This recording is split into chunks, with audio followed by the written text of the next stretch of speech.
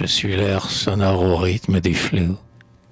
Quand les récoltes en hiver sont engrangées et que le grain luisant s'entasse par monceaux alentour des hautes gerbes érigées.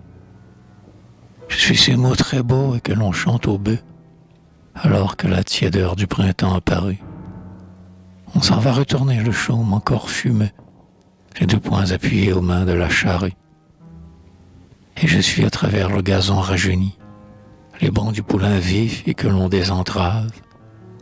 Tes brebis nous suivant quand on leur dit Henny, il heure des sabots de la chèvre au flanc cave. Je suis en juin, fredon sur les mélilots, de l'abeille enivrée en la saison charmante, des cerises. Je suis le fifre des loriots, le crisselé des foins que la brise tourmente.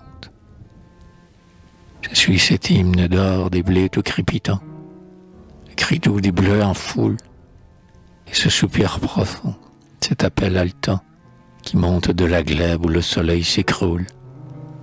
Je suis la vigne avec ses résonnants coteaux, et ses rounifliers où s'abattent les grives, le cœur des vendangeurs près des rouges cuveaux, et leur rire que l'air bleu du soir enjolive.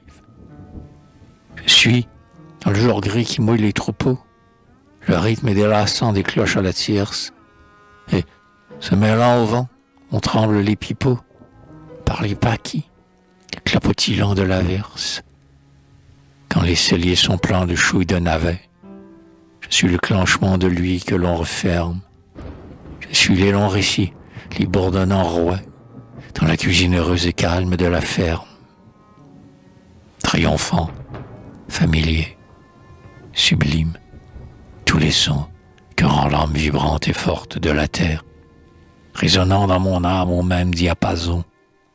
Je suis l'âme vibrante et forte de la terre.